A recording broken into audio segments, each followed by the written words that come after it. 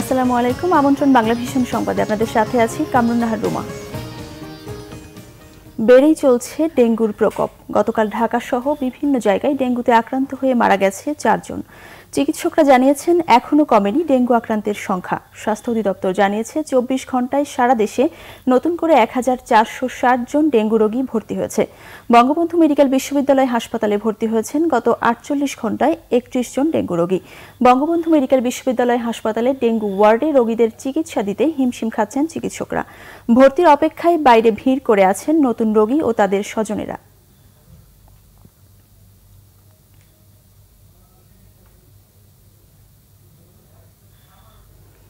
ঈদের ছুটি কাটিয়ে আজও ঢাকা ফিরছেন নগরবাসী। তবে এরই মধ্যে অনেকে চলে আসায় যাত্রীদের চাপ কমে গেছে।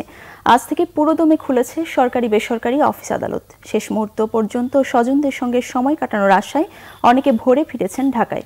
ভোর থেকে সদরঘাটে ভিড়তে থাকে দক্ষিণবঙ্গের লঞ্চগুলো। কেবিনে অতিরিক্ত ভাড়া আদায়ে ক্ষোভ জানিয়েছেন যাত্রীরা। রেলপথেও ঢাকা ফিরেছেন অনেকে। বাড়তি চাপ থাকায় কিছুটা কষ্ট হলেও ট্রেনের শিডিউল নিয়ে খুব একটা অভিযোগ ছিল না আজ। শত দুর্ভোগের পরও প্রিয়জন সময় কাটাতে পেরে খুশি নগরবাসী। পুরনো সব বকেয়া পরিশোধের নিশ্চয়তা এবং নগদ টাকা ছাড়া ট্যানারি মালিকদের কাছে কোনো চামড়া বিক্রি না করার সিদ্ধান্ত নিয়েছে আড়তদাররা। আজ বাণিজ্য মন্ত্রীর সঙ্গে বৈঠক শেষে এ বিষয়ে চূড়ান্ত সিদ্ধান্ত জানাবেন তারা। বাজার কারসাজির জন্য পরস্পরকে দোষারোপের পর এবার চামড়া বেচাকেনা নিয়ে মুখোমুখি আড়তদার এবং ট্যানারি মালিকরা।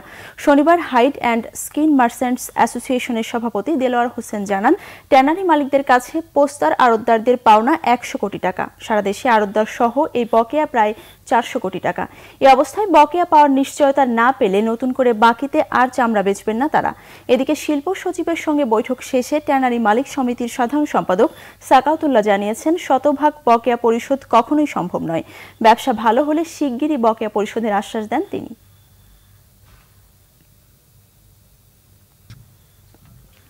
এ ছিল এখনকার মতো পরে সংবাদ বেলা বারোটায় দেখার আমন্ত্রণ রইল। এছাড়া ফেসবুকে বাংলা ভীষণ সংবাদ সরাসরি দেখতে লগ করতে পারেন Facebook dot com slash Bangla ভীষণে এতক্ষণ সাথে থাকায় ধন্যবাদ।